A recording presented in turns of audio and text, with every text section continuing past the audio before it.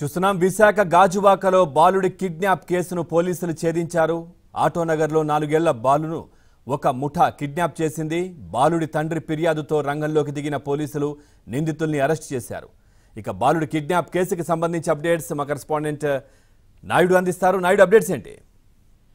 పవన్ విశాఖలో బాలుడి కిడ్నాప్ కేసుని గాజువాక పోలీసులు ఛేదించడం జరిగింది. నిన్న జరిగిన నిన్న అతని తండ్రి ఫిర్యాదు ఇచ్చిన సాయంత్రానికే దాదాపుగా పోలీసులు అతన్ని అదుపులోకి తీసుకోవడం జరిగింది. అయితే ఎవరైతే బాలుడి తండ్రి ఉన్నాడో ఆ నరేష్ యాదవ్ ఆయన ఒక పరిశ్రమ నడుపుతున్నాడు. ఆ పరిశ్రమ కోసమని ఒకరి దగ్గర సుమారుగా నలభై లక్షల వరకు అప్పు తీసుకున్నాడు. అయితే ఈ కోవిడ్ నేపథ్యంలో ఆ పరిశ్రమ నడవకపోవడం వల్ల తీవ్ర ఇబ్బందులకు గురై ఇబ్బందులు పాలైనటువంటి పరిస్థితి.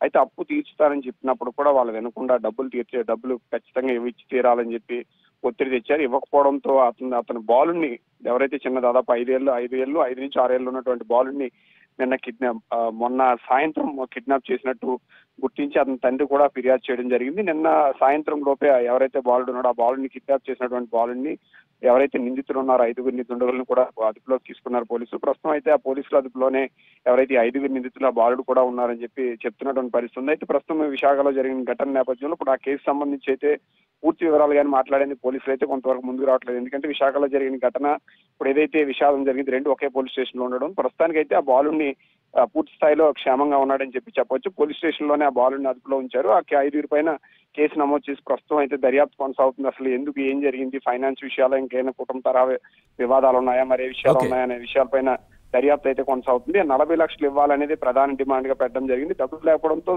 ఘటన జరిగిన వెంటనే స్పందించడం పోలీసులు కూడా చాకచక్యంగా ఛేదించి ఆ బాలుని క్షేమంగా తీసుకొచ్చినట్లు మనకు తెలుస్తుంది. Thank you Naidu thanks for the updates